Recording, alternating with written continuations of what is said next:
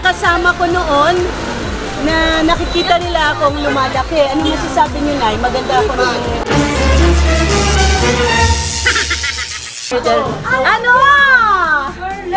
Ano? Ah, ito ang aking mga chismosang kapitbahay ng araw.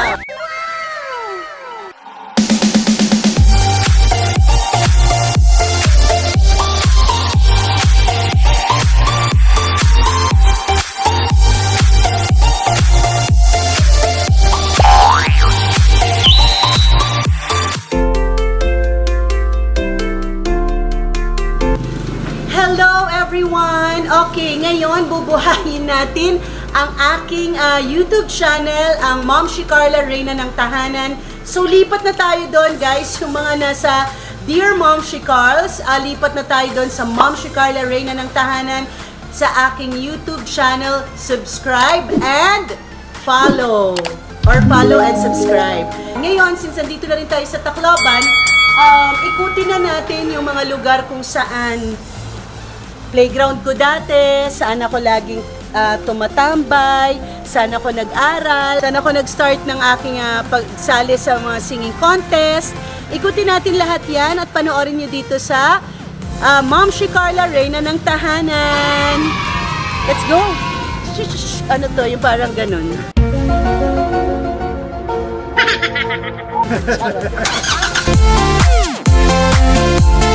Bye!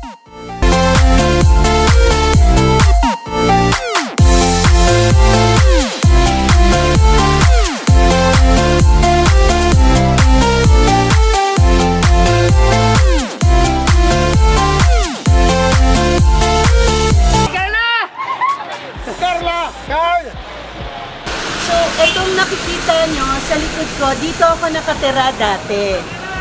Oo, ito ang tawag dito ay Maseda Compound. Hello, Tay! So, Maseda Compound. Dati parang talagang compound. Tapos ba, parang may second floor to sa taas. Tapos dyan kami nakatira dati. Tignan nyo yung paligid.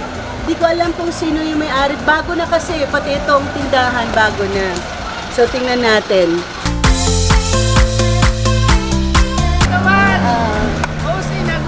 Nagun! Oh, saya to pa. Sugadla. Okay. Kaya maaram ka na. Oo.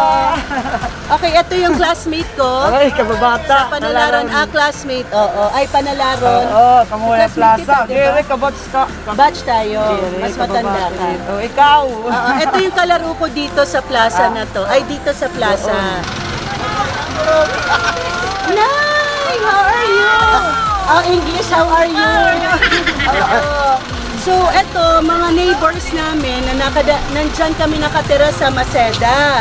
Tapos, lumipat din kami dito sa Barrio Anuha. O, nahinumdum ka mo. Amon ate, yun yung tawag natin dati, di ba? Eto si nanay ha, ang kasama ko noon na nakikita nila akong lumalaki. Ano masasabi niyo, Nay? Maganda ako ng... Maganda ka.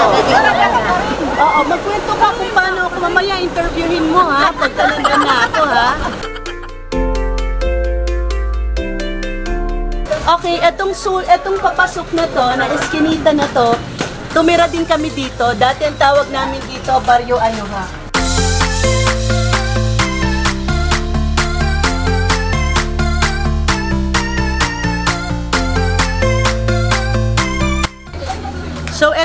Lugar namin kung saan ako lumaki. Ang mga nakakakilala niyan, ito, ito. Ano? Carla! Ano? ano? Nasyak ka mo ano? No! Kaya yan ako lang magpakita. Ah, ito ang aking mga chismosang kapitbahay Ah, ah. So, alam nyo mga mamshi, itong, itong lugar na to ay isa sa mga lugar na tinirhan namin. From D&G, Maseda Compound, tapos napunta kami dito. Tapos balik ako ng Maseda Compound. And then dito sa Maseda, mula sa Maseda, pumunta na ako ng Manila. Ikaw yung pinakamaganda dito ng araw. eh. So, Kamusta po yung ah, kabataan niyo ni Ma'am si Carla? Oo, kasi magbadi-badi kami yun. Naglalaro kami. Ito, ito kami, aro- ano pa ako dito. Yun sa kanya nandito. May, di ba may piklatiya? Kasi doon naglalaro kami sa plaza. Maganda naman siya. Nakapunta siya ng Maynila. Tapos doon, nag-artista na. Ngayon, mga momshi, mga katingog, pupunta tayo sa playground namin before, yung Plaza Libertad. Maraming salamat. Masaya-masaya ako nakita ko kayo. Ano? Yung mga mukha. May Carla! Ah, yan may camera. May Carla! Nanonumdum ka pa, Kon? Ino po ni Ini. Uy! Ito classmate ko, panalaro na di pati Henry. Mga classmate ko. Oo, lahat kami dito to, lahat kami nakulong eh. sa pag-ibig, hindi sa kulungan. Oo. Oo, so ito yung mga classmates ko, ito yung mga leader ng suntukan namin dati dito sa Lupis. Yan ang barkada ko mga lalaki eh. Hindi, masaya. Memory namin. Barkada, in, labas. Jolens. Kami yan. Ito si Henry, isang sa barkada namin kaming tatlo. Kamusta si Ma'am si Carla nung kabataan niyo? Ano bang mga kagimikan niyo niyan? Agi daw Tagalog. Oh, ano yan? Ah, marami, marami. Marami mga ano namin dito, masaya. Bata lang kami noon. Nag, basta't mga taong labas malaki kami. Laro kami lahat ng laro. Cara Cruz. Hindi makakalimutan. Oo, Chinese Garter. So Ma'am si one of the boys ka Sato. pala. Oo, bar- ang mga barkada ko noon, mga lalaki talaga. Ano na?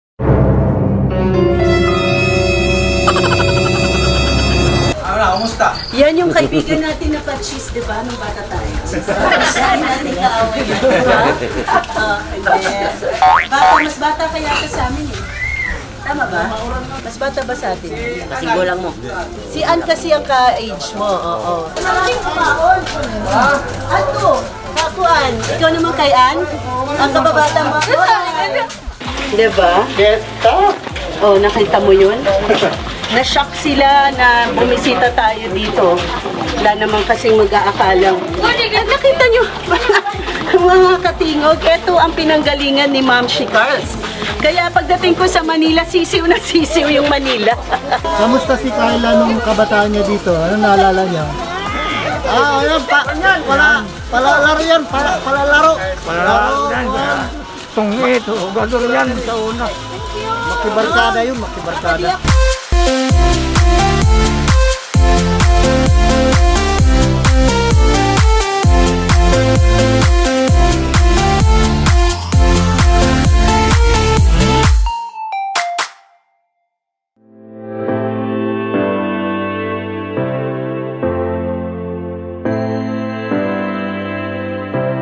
Ngayon, nandito tayo sa Plaza Libertad. Ito yung playground namin. And then, yung basketball court na yon before pa yan, um, before nung bata ako, wala pa rito. So, diba? Meron kaming Liberty, that's why it's Plaza Libertad. So, before meron tong mga upuan na parang mga semento na white. Sobrang dito ako nangangarap.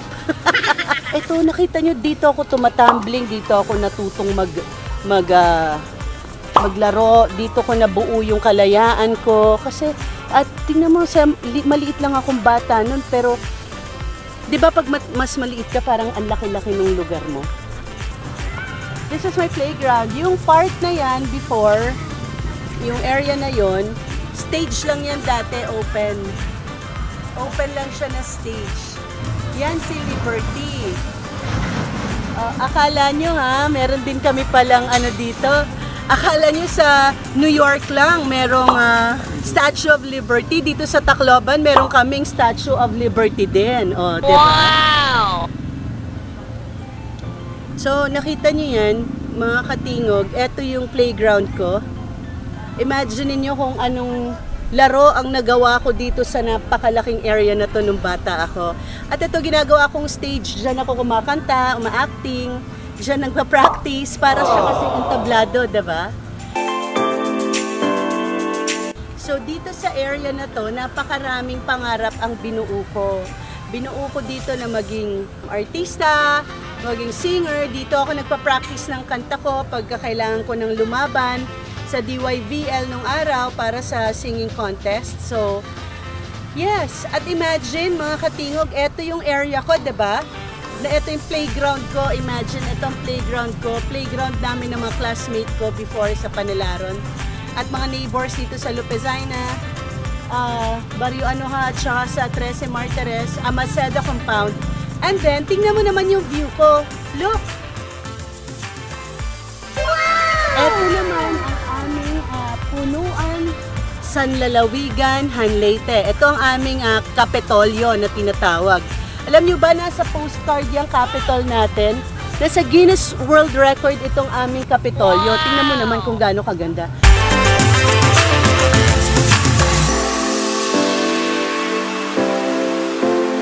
So, sabi nila, bakit parang ang lawak ng pangunawa? Bakit laging parang freedom lover ka and all?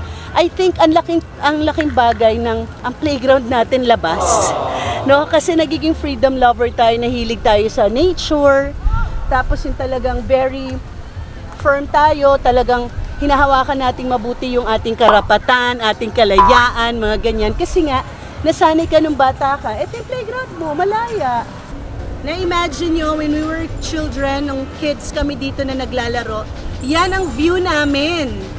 Sobrang ganda. That's why sobrang ah, mahilig akong tumingin sa magagandang lugar because ito yung nakasanayan. The view itself, thank you so much sa Tacloban City na nabigyan tayo ng ganyan kagandang, actually the province of Leyte, ba? So yan, eh yan muna ang ating kwento at ah, marami pa tayong pupuntahan. Let's go!